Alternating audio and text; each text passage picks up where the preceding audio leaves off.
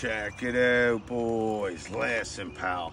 When I was 15, buddy, I used to work at an insulation company, bud. A boss told me there's only one way to open these. Let me show you.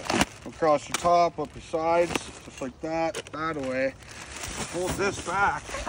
Sitter. Then you got yourself a nice trash bag there. Only way to do it, boys. Carry on.